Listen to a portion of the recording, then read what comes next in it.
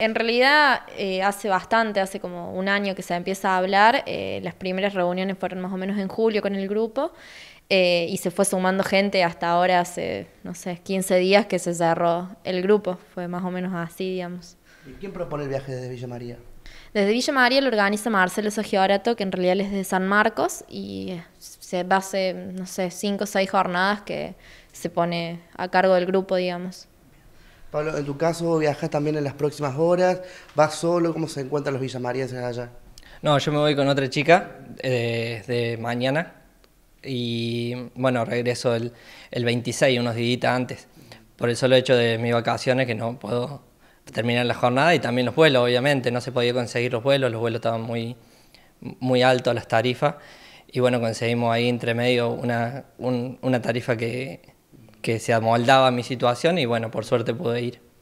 ¿Se conoce cuántos villamarienses van a, van a viajar? Aproximadamente ustedes que están allí en el círculo.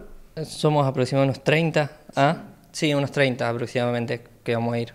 Como ella decía anteriormente, dijeron algunos que iban, otros que no podían ir y, y no se sabe estimado el número exacto, pero sí eh, creemos que unos 30 vamos a estar allá, villamarienses. Bueno, veíamos que muchos jóvenes del país han, han dicho diferentes cosas, rifas, vendieron objetos personales para juntar fondos y para poder ir. ¿Ustedes qué hicieron en particular? Eh, yo en particular trabajé, no, estuvieron haciendo a nivel diocesano también venta de pollos, de, de, empanadas, creo, varias cosas, a lo mejor a nivel parroquia, se fueron organizando más en grupos pequeños y no tanto a nivel eh, masivo, digamos. Bien. ¿Cuánto cuesta aproximadamente este viaje, Meli? Eh, aproximadamente salen 1.200 el, dólares el pasaje y unos 500 más o menos el, la estadía ya completa. Son unos 1.700 dólares más o menos. Bueno, ¿por qué ustedes quieren ir? ¿Desean ver al Papa? ¿El deseo personal? ¿Cuál es de cada uno de ustedes que van a viajar?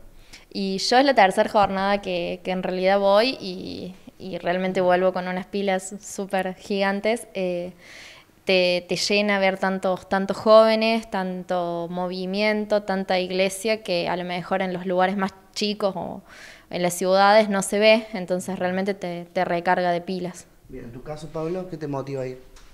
Eh, mi motivación principalmente es seguir con las actividades acá en Villa María, con las actividades que tenemos en la Santísima Trinidad, en la parroquia, que formamos parte. Eh, una de ellas son la sopa para el frío, darle el desayuno a la cárcel eh, y otras diversas actividades que van surgiendo y obviamente nosotros siempre ponemos la mejor predisposición para que se logre.